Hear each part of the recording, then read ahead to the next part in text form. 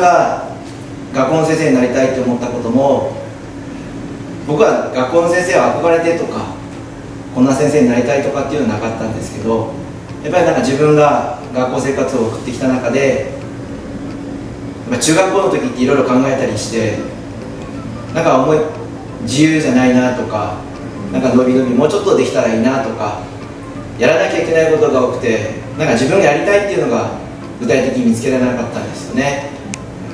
だから自分が学校の先生だったらそんなクラスだったりそんな先生になりたいなっていうふうに思って教員を目指したのがきっかけでした。小崎先生はどうだったんですか？私もですね小学校の先生がすごくいろいろ深く関わってたのでなんか自分もこう大人になったら自然に、まあ、先生になるんだろうなとかなりたいなっていうのが直接のきっかけなんですけどやっぱ中学校の時期はいろいろこう気持ちが入れたりとかするので、まあ、その分でもあの先生の言葉とかが私の中では心に残ってて、まあ、今は中学校にいるっていう感じです。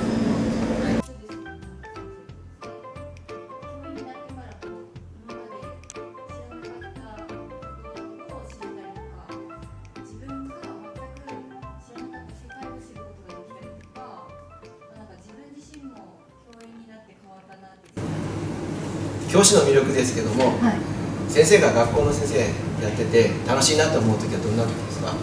あ やっぱりこう子供と何か一つのものを作ったりとかやっぱり子供たちとの関わりが私の中では一番楽しいし力にはなってるかなと思います。でも常にそれを感じてるわけじゃないですけど、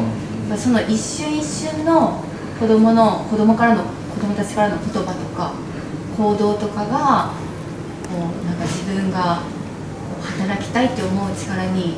なってるような気がするんですよね、はい、子供の存在って大きいですよね。大きいですね。学校で働いてるともっと忙しくて、うん、なかなかですね自分の余裕もない時が結構あるんですけど、子供たちと話したり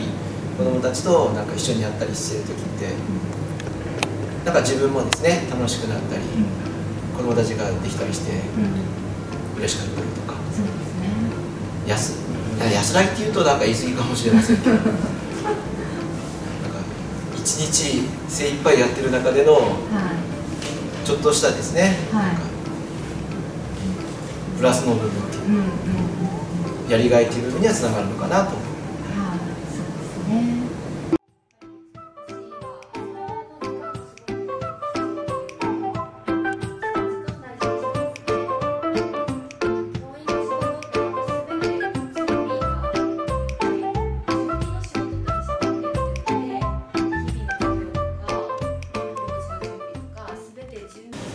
で尾崎先生は一日の中でどの時間を大事にしてますか？私はやっぱりこう朝の時間を大事にしてます。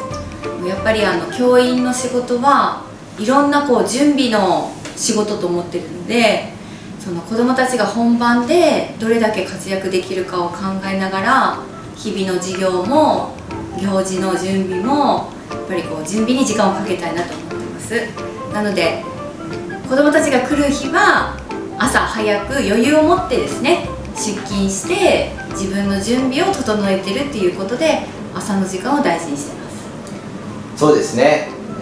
教員は働き方改革も言われてますけど時間の使い方がとっても大事な仕事かなと思います。やっぱり時間をどのように使うかそれによって効率的に仕事ができるかにもつながるといます。やっぱり集中できる時間ってやっぱり午前中だと思いますのでその時間に何をするか、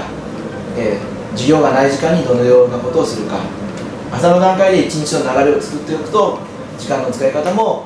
効率的になり働き方も時間に合わせてスムーズに進社会は大きく変わっていっています。先生にも子供にも自分で学ぶ力が必要だと思います。私たち教員の何気ない一言や行動が子どもたちの大きな変化や前進のきっかけになることがあります。今の自分の経験を大切にしていってください。